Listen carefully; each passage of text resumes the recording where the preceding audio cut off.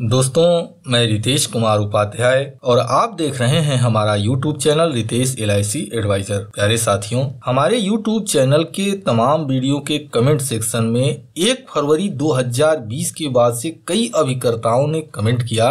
कि sir LIC की जो फॉर्म संख्या 300 है, उसको कैसे भरते हैं, उस पर एक वीडियो बना दीजिए। तो प्यारे साथियों, आपकी इस ज़रूरत को ध्यान में रखते हुए LIC के फॉर्म संख्या 300 को, जो कि नया अपडेट आया हुआ है, इसको कैसे भरते हैं, इसकी जानकारी इस वीडियो में देने जा रहा हूँ। तो फिर यदि आपको यह जानकारी चाहिए तो फिर इस वीडियो को आखिरी तक ध्यान से देखते रहें। अब दोस्तों, सबसे पहले आप LIC के फॉर्म संख्या 300 को ओपन कर लें। अब फार्म संख्या 300 को यदि आप नीचे की ओर ध्यान देंगे तो वहाँ पर सीरियल नंबर आपको मिल जाएगा। तो पहले आपको क्या करना है कि आपके पास जितने भी फॉर्म के पेज हैं, उनको सीरियल वाइज व्यवस्थित कर लीजिए। एक, दो, तीन, चार, पाँच छ सात, आठ मतलब इस तरह से जितने भी पेज हैं, उनको व्यवस्थित करके आप रख लें। अब दोस्तों, हम फॉर्म के पहले पेज को ओपन कर लेते हैं। तो यहाँ ऊपर की ओर आपको ग्राहक की फ़ोटो लगानी होती है और आप जिस डिवीज़न में कार्य करते हैं, उस डिवीज़न का नाम और अपने ब्रांच का कोड नंबर नोट कर लें। इसके बाद नीचे की ओर जब आप ध्यान देते हैं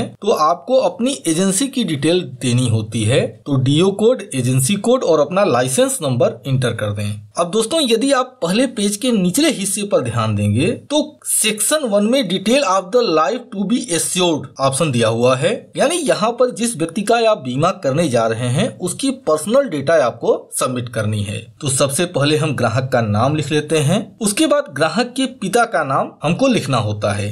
और फिर ग्राहक की माता का नाम हमको सबमिट करना होता है। ग्राहक पुरुष है या स्त्री है, आप उसको नोट कर दें। इसके बाद पेज संख्या दो पर आप चले जाएँ। पेज संख्या दो पर पांचवा क्वेश्चन है, ग्राहक शादीशुदा है तो विवाहित, अन्यथा अविवाहित लिख सकते हैं। इसके बाद स्पाउस का नाम देना है और ग्राहक की जन्म तिथि आपको लिखनी है। इसके बाद ग्राहक के जन्म तिथि के आधार पर उनकी एज देनी है। लेकिन यहाँ पर आपको यह ध्यान देना है कि आप जो पॉलिसी ग्राहक को सेल करना चाहते हैं, वह पॉलिसी निकटतम जन्म तिथि पर आयु मांग रही है या लास्ट बर्थडेट के हिसाब से मांग रही है। जिस भी आधार पर एज मांगा जा रहा है, कॉलम नंबर आठ में ग्राहक की वही एज आप सबमिट करेंगे। यदि आपको निकटतम जन्म तिथि या लास्ट बर्थ डेट अगर निकालना नहीं आता है तो इसके लिए हमारे यूट्यूब चैनल पर एक वीडियो पहले से पोस्ट है। यदि आप उस वीडियो को देखना चाहते हैं तो इस वीडियो के ऊपर राइट साइड में आई जैसा बना हुआ आपको दिखाई दे रहा होगा। वहाँ पर क्लिक करके आप उस वीडियो को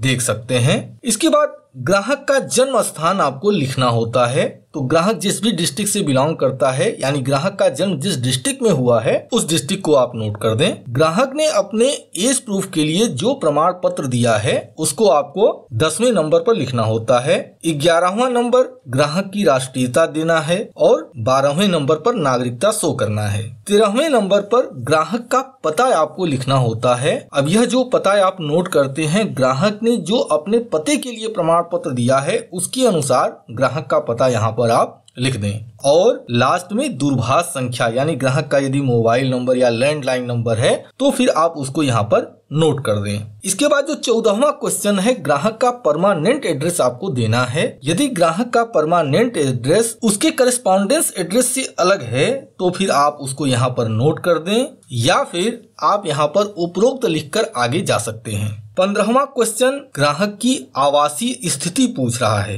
अर्थात यह जो क्वेश्चन है, इस क्वेश्चन का मूल उत्तर यह है कि ग्राहक इंडियन है या नॉन इंडियन है, इसको आपको यहाँ पर लिखना होता है। तो हम यहाँ पर ग्राहक को भारतीय निवासी लिख देते हैं। यदि आपका ग्राहक विदेश में रहने वाला है तो उसके जो विदेश का पता है, वो आपको यहाँ पर लिखना होता है। इसके बाद जब पेज संख्या दो के नीचे की ओर आप आते हैं तो यहाँ पर क्वेश्चन किया जा रहा है कि क्या ग्राहक आयकर दाता है? यदि आपका ग्राहक आयकर दाता है तो आप यहाँ पर यस लिख दें अदरवाइज़ नहीं। और दूसरे क्वेश्चन का उत्तर में ग्राहक के पैन कार्ड को इंटर करना होता है।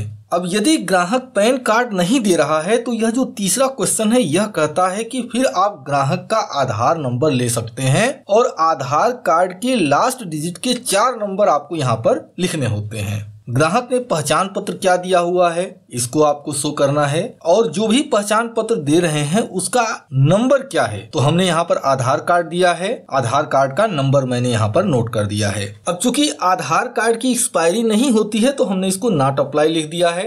यदि इसकी जगह पर जैसे अगर आप ड्राइविंग लाइसेंस वगैरह देते तो जहाँ मैंने आधार कार्ड लिखा है, वहाँ पर आपको ड्राइविंग लाइसेंस लिखना होगा। आईडी नंबर में ड्राइविंग लाइसेंस का जो नंबर होता है, उसको लिखना होता है। और लास्ट का यह जो तीसरा ऑप्शन है इसके अंदर यह जो ड्राइविंग लाइसेंस है, किस डेट को एक्सपायर हो रहा है, वह डेट लिखना होता है। इसके बाद ग्राहक ने एड्रेस प्रूफ के लिए जो सर्टिफिकेट दिया हुआ है, वह सर्टिफिकेट कौन सा है, इसको आपको यहाँ पर लिखना होता है। अब हम पेज संख्या तीन पर चलते हैं। पेज संख्या तीन पर पाँचवें नंबर का क्वेश्चन है, यदि आपका ग्राहक जीएसटी के लिए रजिस्टर्ड है तो उसका जो जीएसटी टिन नंबर है, वो आपको यहाँ पर देना है। अदरवाइज़ आप यहाँ पर नहीं लिख सकते हैं। और यदि आपके ग्राहक के पास सी के वाई सी नंबर है तो उसको आप यहाँ लिख दें अदरवाइज़ नहीं लिखकर अगले क्वेश्चन की ओर बढ़ चलते हैं। अगला क्वेश्चन ग्राहक के व्यवसाय से संबंधित है। तो सबसे पहले ग्राहक की शैक्षणिक योग्यता क्या है, वह आपको दिखानी है। फिर ग्राहक व्यवसाय क्या करता है, अर्थात ग्राहक बिज़नेस करता है, या फिर जॉब करता है, या फिर खेती करता है। तो ग्राहक का जो व्यवसाय है, वह आपको यहाँ पर नोट करना होता है। इसके बाद तीसरा क्वेश्चन है, आय का स्रोत क्या है सोर्स ऑफ़ इनकम क्या है ग्राहक की? तो दोस्तों, हमारा यह जो ग्राहक है, यह व्यापार तो करता है, लेकिन इसके पास कुछ मकान है जिसको कि यह किराए पर चलाता है। तो हमने यहाँ पर लिख दिया कि इसकी जो आय का स्रोत है, वह व्यापार भी है और इसको मकान से किराया भी मिलता है। इसके बाद नियोक्ता का नाम। यानी यदि आपका ग्राहक किसी कंपनी में काम करता है तो वह जो एम्प्लॉयर है, उसका नाम आपको यहाँ पर लिखना होता है। क्योंकि यह जो ग्राहक है, जिसका फॉर्म हम भर रहे हैं, यह बिजनेसमैन है तो हम यहाँ पर लागू नहीं लिखकर आगे बढ़ जाते हैं। कार्य का यथार्थ स्वरूप क्या है? तो हमारा यह जो ग्राहक है, इसकी अपनी जनरल स्टोर की दुकान है तो हमने यहाँ पर उत्तर लिख दिया जनरल स्टोर का व्यवसाय। इसी प्रकार से यदि आप सब्ज़ी विक्रेता का बीमा कर रहे हैं तो यहाँ पर आपको सब्ज़ी विक्रेता लिख देना चाहिए। यदि आप किसी धोबी का बीमा कर रहे हैं तो यहाँ पर धोबी लिख दें। यदि आप किसी डॉक्टर का बीमा कर रहे हैं तो यहाँ पर डॉक्टर लिख दें। यानी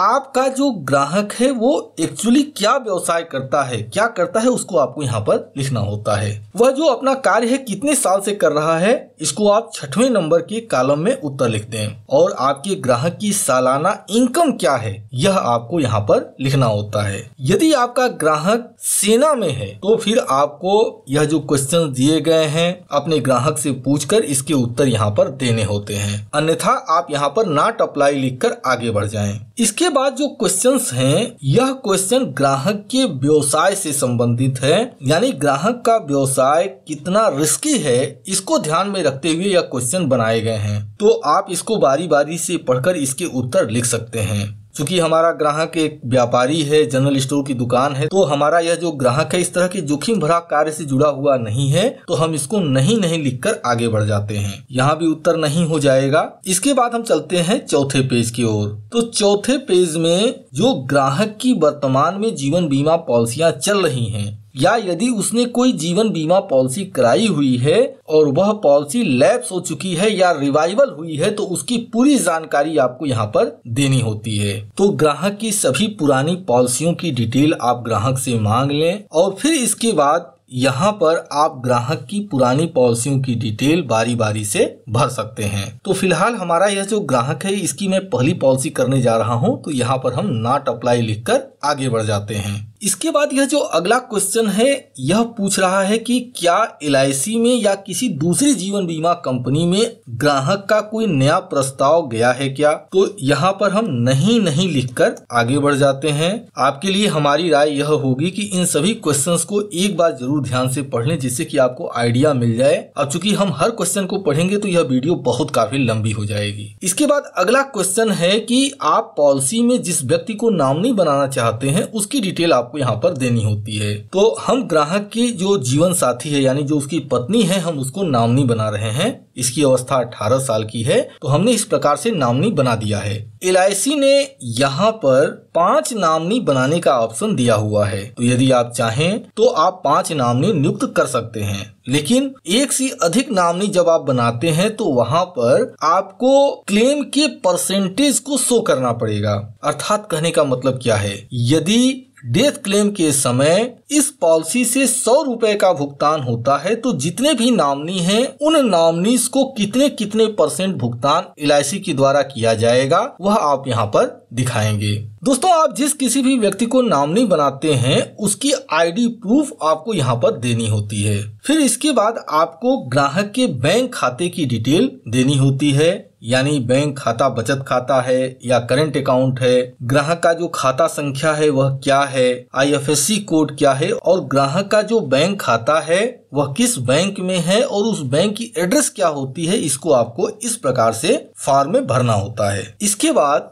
ग्राहक का मोबाइल नंबर और उसकी ईमेल आईडी आपको लिखनी होती है। और जब इतना लिख चुके होते हैं, यहाँ पर आपको ग्राहक से सिग्नेचर करा लेना होता है। अब दोस्तों, अगला जो क्वेश्चन है कि ग्राहक पॉलिसी ले रहा है, पॉलिसी लेने के पीछे ग्राहक का उद्देश्य क्या है? तो हम यहाँ पर लिख देते हैं कि बचत और सुरक्षा के लिए ग्राहक पॉलिसी लेना चाहता है। यदि आप ग्राहक को टर्म प्लान दे रहे हैं तो वहाँ पर सिर्फ़ जोखिम कवर आंसर होगा। अदरवाइज़ आप बचत ले सकते हैं। बचत और जोखिम कवर में से, दोनों में से कोई भी एक ऑप्शन का चयन कर सकते हैं। इसके बाद अगला क्वेश्चन है, प्रस्तावक किसके तहत है? यानी, यदि ग्राहक सेल्फ अपनी लाइफ पर बीमा ले रहा है तो वहाँ पर व्यक्तिगत जीवन होगा। यदि इम्प्लॉयर और इम्प्लाई स्कीम के तहत अगर आप बीमा पॉलिसी सेल कर रहे हैं तो एम्प्लॉयर एम्प्लाइज स्कीम्स हो जाएगा। यदि हिंदू इंडिविजुअल फैमिली है तो वहाँ पर एच यू एफ़ लिखा जाएगा। और यदि एम डब्ल्यू पी एक्ट के तहत पॉलिसी दे रहे हैं तो आपको वहाँ पर एम डब्ल्यू पी लिखना होगा। तो फ़िलहाल हम यहाँ पर व्यक्तिगत जीवन लिख देते हैं। दोस्तों, यहाँ पर आपको यह भी ध्यान देना होगा कि यदि व्यक्तिगत जीवन के अलावा यदि आपका उत्तर कुछ और होता है तो इसके साथ आपको कुछ और भी दस्तावेज़ जमा करने पड़ेंगे। अब इसके बाद हम अगले पेज की ओर चलते हैं। अगला पेज पूछ रहा है कि क्या आप ग्राहक को कोई राइडर दे रहे हैं? तो यदि आप ग्राहक को कोई राइडर दे रहे हैं तो जिस राइडर को दे रहे हैं, उसकी आगे आप टिक कर दें। तो फ़िलहाल हम ग्राहक को एक्सीडेंटल बेनिफिट राइडर दे रहे हैं। तो हम उसकी आगे सही का निशान लगा दिए हैं। अब दोस्तों, आप जिस पॉलिसी को ग्राहक को सेल करना चाहते हैं, उसकी डिटेल आपको देनी होती है। तो हम ढाई लाख रुपए का 933 नंबर टेबल 21 साल के लिए दे रहे हैं तो हमने वह डिटेल डाल दी है। अब दोस्तों, अगला जो क्वेश्चन है, वह यह कहता है कि क्या आपका ग्राहक पुलिस डिपार्टमेंट से है या फिर अर्धसैनिक बल से जुड़ा हुआ व्यक्ति है? यदि ऐसा है और आप उसको कोई राइडर दे रहे हैं तो यहाँ पर जो क्वेश्चन है, उसके उत्तर आपको भरने होंगे। लेकिन हमारे साथ ऐसा नहीं है तो हम यहाँ पर इसको लागू नहीं लिखकर आगे बढ़ जाते हैं। यदि आप इस पॉलिसी को सैलरी सेविंग स्कीम के तहत करना चाहते हैं तो वहाँ पर यह जो कोड है, पेइंग अथॉरिटी कोड और डिपार्टमेंटल नंबर, इसको आपको देना होता है, क्योंकि हमारे साथ ऐसा नहीं है तो हम यहाँ पर लागू नहीं लिखकर आगे बढ़ जाते हैं। दोस्तों, अगला क्वेश्चन बड़ा महत्वपूर्ण है। अगला क्वेश्चन पीडब्ल्यू बी राइडर के लिए है। सपोज़ दैट यदि आप किसी बच्चे का बीमा कर रहे हैं और उसको पीडब्ल्यू बी राइडर देना चाहते हैं तो पिता के नाम से आपको फॉर्म संख्या 300 भरना पड़ता है। और ऐसे केसेस में इस ऑप्शन में यदि आप नीचे की ओर ध्यान देंगे तो यहाँ पर हाँ लिखना होगा। क्योंकि हमारे साथ ऐसा नहीं है तो हम यहाँ पर लागू नहीं लिखकर अगले क्वेश्चन की ओर चलते हैं। अब सातवां पेज ओपन करते हैं। सातवें पेज में यह जो पहला बॉक्स बना हुआ है, इस पहले बॉक्स में यह दिया हुआ है कि यदि आप आधारशिला या आधार स्तंभ पॉलिसी सेल कर रहे हैं तो बीमित राशि कितनी है यह आपको यहाँ पर लिखनी होगी और यहाँ पर यदि बी नंबर के क्वेश्चन को आप ध्यान से पढ़ें, मैं इसको पढ़ देता हूँ। क्या इस योजना के तहत आपका जीवन एक ही समय में एक साथ प्रस्तावित किया जा रहा है? हाँ या नहीं? इस प्रश्न को समझने की ज़रूरत है। क्योंकि आधारशिला या आधार स्तंभ जो पॉलिसी है, वो मैक्सिमम तीन लाख सम तक में अवेलेबल है। तो एल आई यहाँ आपसे यह जानना चाहती है कि क्या यह जो ढाई लाख का प्रस्ताव है, यह एक साथ में आप दे रहे हैं, या फिर इससे पहले की भी कोई पॉलिसी आपने की हुई है? तो यदि एक साथ आप दे रहे हैं तो यहाँ पर हाँ लिखेंगे अदरवाइज़ आप नहीं लिखेंगे। तो हम यहाँ पर हाँ लिखते हैं। क्योंकि हमने अपने ग्राहक को प्लान नंबर 933 सेल किया है तो इसके लिए हम यहाँ पर लागू नहीं लिखकर अगले क्वेश्चन की ओर बढ़ जाते हैं। दोस्तों, अगला जो बॉक्स बना हुआ है, यदि आप अपने ग्राहक को जीवन अमर पॉलिसी जो कि टर्म इंश्योरेंस प्लान है, यदि आप सेल करते हैं तो उसके लिए इस बॉक्स को कम्प्लीटली भरना पड़ता है। क्योंकि हमारे साथ ऐसा नहीं है तो हम इसको नॉट अप्लाई लिखकर आगे बढ़ जाते हैं। अब यदि इस फार्म के साथ आपने एलआईसी या किसी दूसरे बीमा कंपनी में नया बीमा के लिए या फिर पुराने बीमे के रिवाइवल इत्यादि के लिए अगर कोई आवेदन किया हुआ है तो उसके विषय में यह कुछ प्रश्न हैं, जिनके उत्तर आपको देने होते हैं। तो एक बार आप इन सभी क्वेश्चन को ध्यान से पढ़ लें। यहाँ पर फ़िलहाल हम नहीं नहीं लिखकर आगे बढ़ जाते हैं। यदि दोस्तों, यहाँ पर यदि आपको कोई समस्या होती है तो आप कमेंट सेक्शन में हमें पूछिएगा। पेज नंबर और क्वेश्चन नंबर डालकर आप हमें पूछिएगा, ताकि हम यह समझ सकें कि आप किस क्वेश्चन के विषय में हमसे पूछ रहे हैं तो हम उसके उत्तर आपको डिटेल में बता देंगे। इसके बाद सहमति का ऑप्शन दिया हुआ है। यहाँ पर एल ग्राहक से यह जानना चाहती है कि जो पॉलिसी ग्राहक प्रस्तावित कर रहा है, उस पॉलिसी की सभी नियम और शर्तें उसने समझा है कि नहीं समझा है, एजेंट ने उसे सारी की सारी जानकारी दी है कि नहीं दी है। तो यहाँ पर हाँ और हाँ भरकर हम अगले पेज की ओर बढ़ चलते हैं। अगले पेज में क्वेश्चन है कि क्या एलआईसी के पोर्टल पर उसकी आईडी बनी हुई है। यदि आईडी बनी है तो आपको यहाँ पर कस्टमर की आईडी लिखनी होगी। अदरवाइज़ यहाँ पर नहीं लिखकर अगले क्वेश्चन की ओर जाते हैं। अब यदि आगे आप ध्यान देंगे तो यहाँ पर ग्राहक का सिग्नेचर कराना होता है और फिर स्वास्थ्य से संबंधित कुछ क्वेश्चन हैं जिनके उत्तर आपको देने हैं। तो यहाँ पर सबसे पहले आपको ग्राहक की हाइट और वेट नोट करनी है। तो हम यहाँ पर ग्राहक की हाइट और वेट लिख लेते हैं। इसके बाद यह जितने भी स्वास्थ्य से संबंधित क्वेश्चन दिए गए हैं, आप ग्राहक से पूछ लें। यदि कोई डिज़ीज़ है तो आप उसको लिखकर उसकी डिटेल आप दें। अदरवाइज़ इन सभी क्वेश्चंस के उत्तर नहीं नहीं लिखना होता है। इसके बाद हम अगले पेज पर चलते हैं। अगला पेज पर भी यह कुछ क्वेश्चन है, जो कि हेल्थ रिलेटेड ही क्वेश्चन है। तो इन क्वेश्चन को आप पढ़ सकते हैं और सभी के उत्तर ग्राहक से पूछकर आप भर सकते हैं।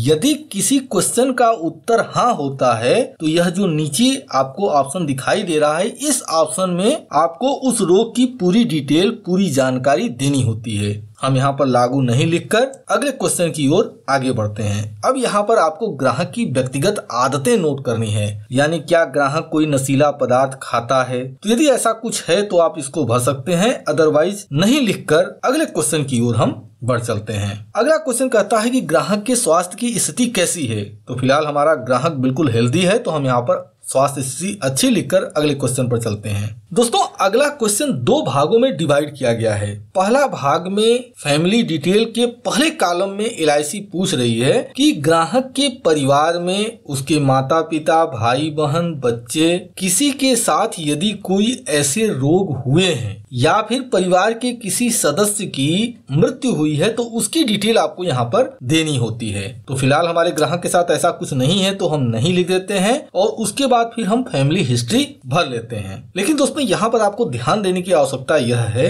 कि यदि आपके ग्राहक के परिवार के सदस्य में किसी की मृत्यु हुई है और यदि आप मृत्यु का कारण बीमारी डालते हैं और यह बीमारी पहले क्वेश्चन में किसी में से एक है तो उसकी डिटेल आपको ऊपर वाले कॉलम में देनी होगी। अब दोस्तों हम अगले क्वेश्चन की ओर चलते हैं। अगला क्वेश्चन है, यदि आपका ग्राहक एक महिला प्रस्तावक है तो इन डिटेल को भरना होगा। अदरवाइज़ आप यहाँ पर लागू नहीं लिखकर आप अगले क्वेश्चन की ओर बढ़ जाते हैं। तो दोस्तों, हमने अपने इस वीडियो में 10 पेज को कैसे भरते हैं, उसकी जानकारी को समझा है। जल्द ही अपनी अगली वीडियो में इस फॉर्म के शेष हिस्से को कैसे भरते हैं, उसकी जानकारी लेकर हम आपके सामने उपस्थित होंगे। तो दोस्तों, यदि आपने हमारे चैनल को सब्सक्राइब नहीं किया हुआ है तो तत्काल हमारे चैनल को सब्सक्राइब कर लें और बेल के आइकान को ज़रूर क्लिक कर दें। उसका फ़ायदा यह होगा कि जैसे ही हम दूसरे पार्ट की वीडियो पोस्ट करेंगे, उसका नोटिफिकेशन आपको ऑटोमेटिकली मिल जाएगा। अब यहाँ जो नीचे स्थान बना हुआ है, यहाँ पर आपको ग्राहक का सिग्नेचर कराना है। तो दोस्तों, उम्मीद करता हूँ कि यह जो वीडियो है आपको अच्छी लगी होगी। तो यदि आपको यह वीडियो अच्छी लगी है तो इस वीडियो के नीचे जो लाइक की बटन है, उसको ज़रूर क्लिक कर दें। और यदि आप हमसे कुछ जानना चाहते हैं तो वीडियो के कमेंट सेक्शन में आप अपने प्रश्न निसंकोच पूछ सकते हैं। दोस्तों, इसी के साथ मैं अपनी इस वीडियो को समाप्त करता हूँ। आपने अपना कीमती समय दिया है, इसके लिए मैं आपका दिल से आभारी हूँ। धन्यवाद। Thank you very much